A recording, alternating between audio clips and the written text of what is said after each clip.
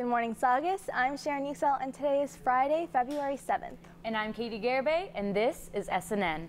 For today's fact of the day, we thought we'd introduce you to Daniel Hale Williams. Born in 1856, Williams is most known for his contribution in the medical field. In 1893, he became the first American general surgeon to successfully perform open heart surgery. Williams also founded Chicago's Provident Hospital, the first non segregated hospital in the United States, as well as an associated nursing school for African Americans. In 1913, Williams was elected as the only African American charter member of the American College of Surgeons. Please stand for the flag salute. Please stand. Put your right hand over your heart. Ready? Begin.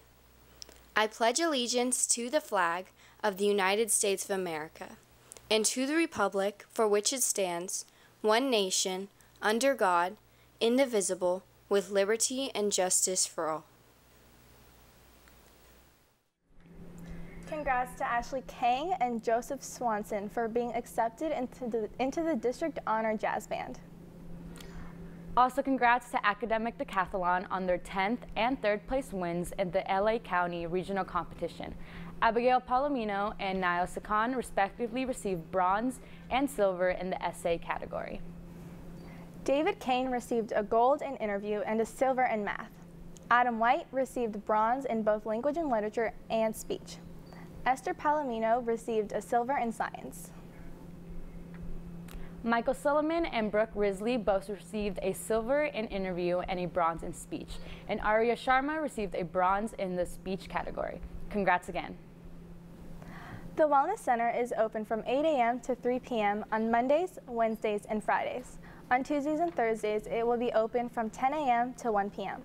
If you need to go to the Wellness Center during class, you need to see a counselor before being referred to the Wellness Center. Hollister is holding an ultimate prom contest. If Saugus wins, we will get a significant donation towards prom, as well as a large donation to our school's music and arts programs. You can vote once a day, and voting ends February 9th. For more information and to vote, go to the website listed below. Connecting to Success is a collaborative effort involving the Valley Industrial Association of the Santa Clarita and Hart District. The experience will give sophomores an opportunity to attend a business educational conference. There are new yellow permission slips that must be signed and turned into the AP office by next Thursday. Every Thursday, Millie and Little will be at Saugus High School to provide a creative arts studio from 2.30 to 4.30 p.m where students can safely explore and express their feelings and emotion in authentic and creative ways. During this program, Millie and Little will set up in the ceramic room B206 with open-ended art materials for students to explore. If you are not feeling well or have injured yourself, you must obtain a pass from your teacher and head to the health office. Do not contact your parents and expect to be summoned from class. All freshmen and sophomores that need to be dismissed from campus during lunch must be signed out by their parent or legal guardians in the attendance office. Now let's go to our principal, Mr. Ferry, with a quick message.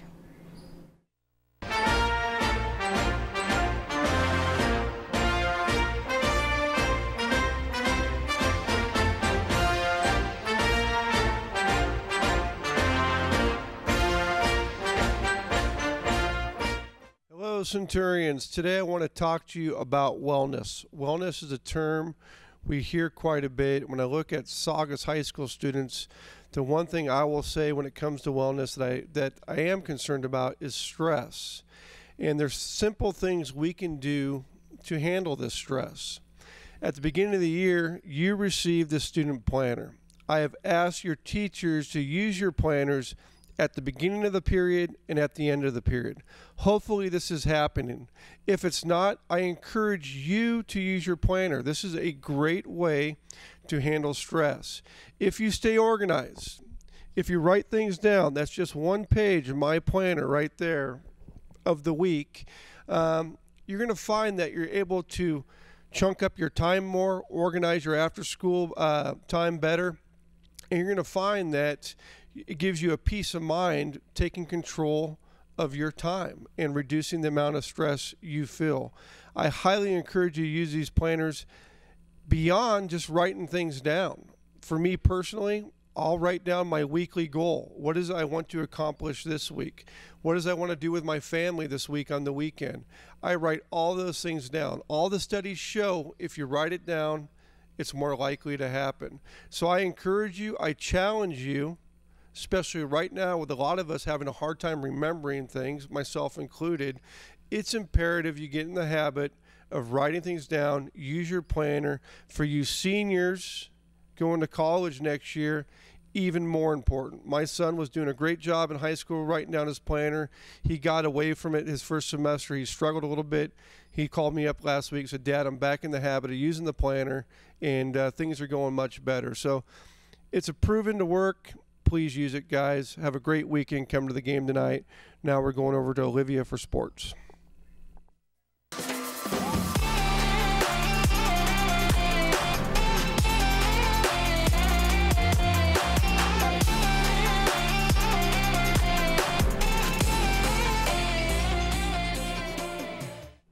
Good morning, Saugus. I'm Olivia Kern with your sports news. Basketball will take on Hart today. Boys varsity basketball plays at Saugus at 6.30. JV plays at 3.15 and Frosh plays at 4.45. Both games are at Hart. Girls varsity basketball plays at 5 and JV plays at 3.30. Both games are at Saugus. Frosh plays at Hart at 6.30. Good luck to all Centurion athletes. The next intramural competition of the year is here. The three on three You Can't Dunk Donuts basketball tournament will begin next week in the gym at lunch. Teams can, must consist of at least three players and have an appropriate team name. All students are eligible to play. Great prizes like Kane Brown tickets will be awarded to the winning teams. Go to the ASB office to sign up.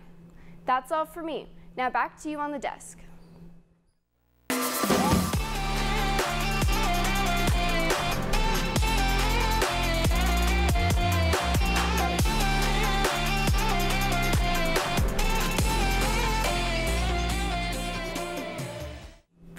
Thanks, Olivia. The Santa Clarita Arts Association provides scholarships to promising student artists in the community. Students must be graduating seniors with plans for continuing their education in the arts. For more information, go to the website listed below or pick up a flyer in the counseling office.